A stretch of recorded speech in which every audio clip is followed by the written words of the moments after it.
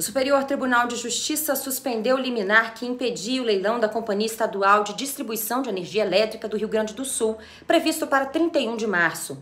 O presidente do Superior Tribunal de Justiça, ministro Humberto Martins, suspendeu nesta quarta-feira os efeitos de uma decisão do Tribunal de Justiça do Rio Grande do Sul, que impedia a continuidade do leilão da Companhia Estadual de Distribuição de Energia Elétrica, a CEE, marcado para o dia 31 de março. De acordo com o presidente da corte, ao suspender o leilão, a liminar do Tribunal Estadual interferiu na execução de uma política pública, substituindo as atribuições do Poder Executivo e desconsiderando a presunção de legalidade do ato administrativo. No pedido de suspensão da liminar, o governo estadual sustentou no STJ que, sem a realização do leilão, a concessão iria caducar, de modo que o Estado teria de arcar com o passivo da companhia de forma integral. O ministro Humberto Martins reconheceu o perigo da demora inverso, já que a decisão do Tribunal Gaúcho impedia a realização do leilão, e isso poderia ter consequências irreversíveis, como a caducidade da concessão. Ao derrubar a liminar estadual, o presidente do STJ destacou que a concessão da companhia elétrica faz parte de um plano de desestatização do BNDES